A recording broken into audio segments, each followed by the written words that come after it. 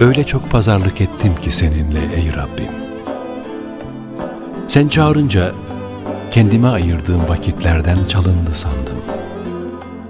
Ezan okununca mesela sevdiklerinle geçirdiğim zamanların azalmasından kaygılandım. Vakit girince içim cız etti hep. Odamdan uzaklaştım, bıraktım işimi, keyfimi bozdum. Böylece namaza durdum. Ayak diredim, az sonra kılsam da olur dedim. Az sonralarım çok sonralara döndü. Geç kaldım. Sonunda ayaklarımı sürüye sürüye vardım o soruna. Pazarlığımı vaktin daralmışlığını bahane ederek yeniden ileri sürdüm. Kaçıyordu ya namaz. O yüzden çabucak kıldım. Hemen selam verdim. Hemen kalktım. Rahatladım. Oysa rahatlığı sana borçluyum. Bunu biliyorum. Ama unutuyorum. Ağrımayan her bir dişim kadar huzur borçluyum sana. Tenimin acımayan her bir noktası kadar rahatlık borçluyum sana. Kazara dişlerim ağrıyacak olsa her biri için harcayacağım zaman seni. Tenim her noktasında yırtılacakmış gibi acıyacak olsa kendi kendime dar geleceğim huzursuz günler senin. Gafletin koynunda Özlemin yolunda. Gafletin koynunda Özlemin yolunda. Uslatın sonunda Pişmanım Allah'ım. Bir garip kapında Bekler Allah'ım Uslatın sonunda Pişmanım Allah'ım Bir garip kapında Bekler Allah'ım Neyi kimden kaçırıyorum ki ben ey Rabbim? Aldanıyorum, kendimi aldatıyorum. Bu kadarla kalsa iyi. Gün oldu, usandım. Sabrımı tükettim, tükendim. Kendime yontmaya heveslendim. Benden istediğin zamanı çok gördüm. Benden istediğini, benim için istediğini bile bile huzurunda huzursuz durdum. Günümü delik deşik etmeni, işimin arasında kesintiler sokmanı, hayatımın ortasına duraklar koymanı, uykumu bölmeni lüzumsuz gördüm. Beni bana bıraklarla durdum huzuruna. İçim başka bir yerlerin türküsünü söylerken, ben seccadende belki sadece bedenimle mıhlı kaldım. Oysa sen dilersen dar edebilirsin zamanı bana. Korkulu bir savaşın orta yerinde, ateş ve kan kusan bombaların altında günümü de, işimi de, uykumu da, hatta rüyalarımı da delik deşik etmelerini takdir edebilirdim. Düşmeyen bombalar kadar, tenime uğramayan sancılar kadar, yöreme uğramayan kaygılar kadar, farkına varamadığım sessizlikler kadar genişlik borçluyum sana. Ben neyi kimden saklıyorum ki? Öylesine bir pazarlık benimkisi. Tuhaf, anlamsız ama pazarlık işte. Kendimi bir yere koyuyorum, seni bir başka yere.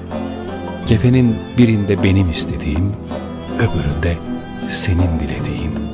Sanki benim istediğim senin dilediğinin dışındaymış gibi. Senin dilediğin benim isteklerimin aleyhineymiş gibi. Bir tür pazarlık yani. Öyle içten pazarlık ki bu kendime bile söyleyemiyorum. İtiraf ediyorum gözlerimle birlikte gönlümü de secdene kilitlemeyi çok gördüm kendime. Kendimi sıfırlamayı secdede, benliğimi hiçe indirgemeyi beceremedim. Ensemde kaderin sıcacık nefesini hissedecek o teslimiyetin vadisine bir türlü inemedim. Acelem vardı. Alnımı koyduğum gibi kaldırdım seccadeden. Bütün benliğimle aşağı inemedim. İşim vardı, secdemi kısalttım, işime zaman kazandım.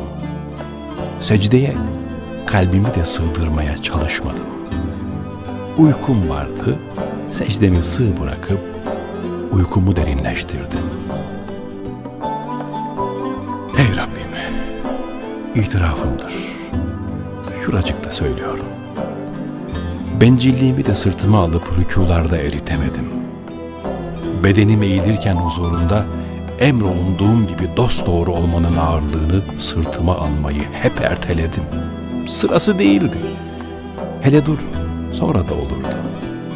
Oysa sen dileseydin, sevdiğimin cılız nabızlarının eşliğinde, loş ve neşesiz bir yoğun bakım odasında, uykusuz, kaygılarla dolu, umutsuz, çaresizlik içinde, ürpertiyle, korkuyla, secdeden sakladığım gözümü, gönlümü bir monitörün ekranına kilitleyebilirdin. Dileseydin yeryüzünün sükunetini bir anda kesip, küçücük bir duvar kıpırtısının gölgesinde, mini mini bir sarsıntının beklentisi içinde secdene çok gördüğüm saçlarımı aklar düşürebilirdim. İçten pazarlık mı denir buna bilmem. Ben biliyorum. Sen beni benim bildiğimden daha iyi biliyorsun. Bir sen duydun beni ey Rabbim. Sırrımı bir sen bildin. Kendimi gereksiz görürken seccadenin üzerinde, dudağım anlamına yetişemediğim kelimeler için oynarken, sen beni söylediğimden fazlasıyla duydun. Söyleyemediğimi de, dile getiremediğimi de bildin.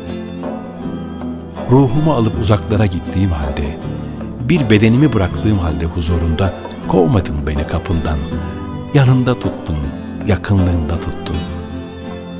İtirafımdır.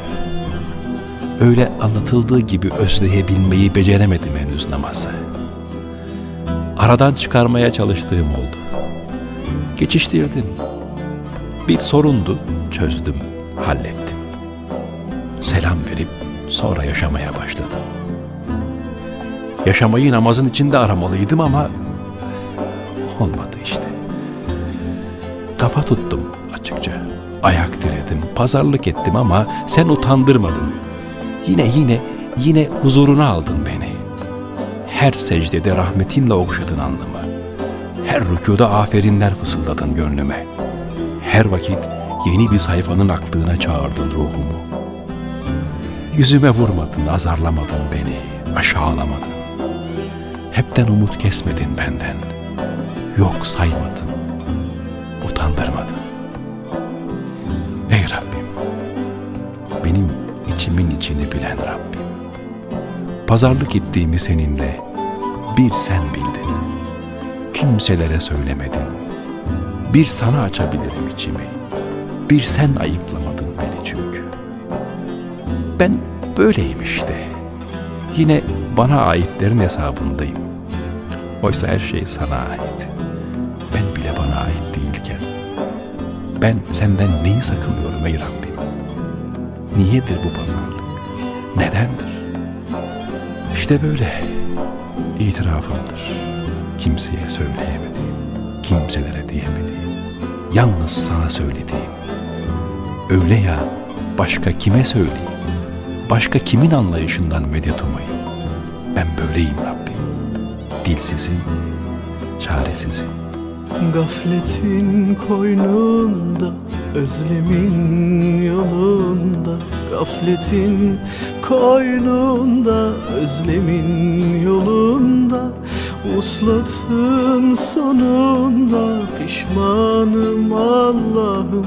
Bir garip kapında Bekler Allah'ım. Uslatın sonunda Pişmanım Allah'ım. Bir garip kapında Bekler Allah'ım